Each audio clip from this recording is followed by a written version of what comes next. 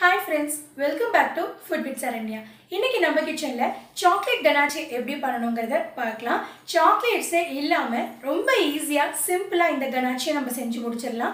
வாங்க வீடியோக்குள்ளே போகலாம். இந்த கனாச்சியை ஐஸ்கிரீம் பேஸ்ட்ரி கேக்குன்னு நம்ம எல்லாத்துக்குமே யூஸ் பண்ணிக்கலாம். இந்த கனாச்சி பண்ணுறதுக்கு ஆஃப் கப் கொக்கோ பவுடர் சேர்த்துக்கலாம். இது அன்ஸ்வீட்டன்ட் கொக்கோ பவுடர் ரெண்டு ஸ்பூன் அளவுக்கு கார்ன்ஃப்ளவர் சேர்த்துக்கலாம். ஆஃப் கப்பு போல் சுகர் கிரானியூல் சேர்த்துக்கலாம். பிஞ்சு சால்ட்டு சேர்த்துட்டு நல்லா மிக்ஸ் பண்ணிக்கலாம். நம்ம கொக்கோ பவுடர் எவ்வளோ எடுக்கிறோமோ அதுக்கு சமமாக நம்ம சுகர் சேர்த்துக்கணும். இப்போது ஒரு கப் அளவுக்கு நம்ம காய்ச்சி ஆற வச்சின பால் சேர்த்துக்கலாம்.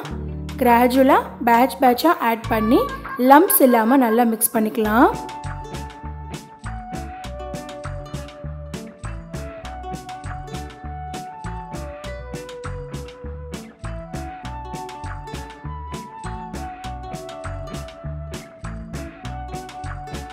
லாஸ்ட் பேட்ச் ஆஃப் மில்க்கையும் சேர்த்துட்டு நல்லா மிக்ஸ் பண்ணிக்கலாம்.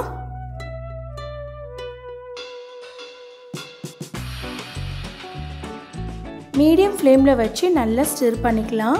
கண்டினியூஸாக ஸ்டிர் பண்ணணும். இது வந்து ஒரு செவன் டு எயிட் மினிட்ஸ் எடுக்கும். நல்லா திக்கனிங் ஆகிட்டு பப்ளிங் வர்றப்போ நம்ம ஸ்விட்ச் ஆஃப் பண்ணிடலாம். அவ்வளோதான் கனாச்சி ரெடி ஆயாச்சு. இப்போது இதில் ஆஃப் ஸ்பூன் அளவுக்கு வெண்ணிலா எக்ஸ்ட்ராக்ட் சேர்த்துக்கலாம்.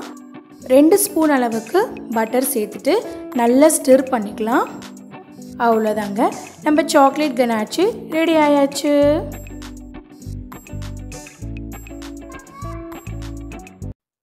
இந்த சாக்லேட் கனாச்சியை நம்ம நினச்ச ஒரு ஃபிஃப்டீன் மினிட்ஸ்லேயே டக்குன்னு செஞ்சு முடிச்சிடலாங்க.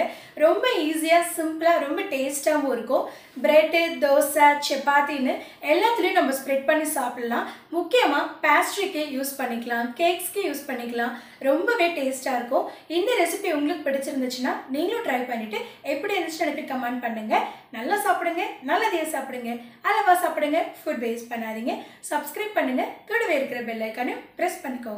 அப்போ தான் நான் போட நோட்டிஃபிகேஷன் உங்களுக்கு வந்து ரீச் ஆகும். பிடிச்சிருந்தா ஷேர் பண்ணுங்கள் தேங்க்ஸ் ஃபார் வாட்சிங் stay connected to food with Saranya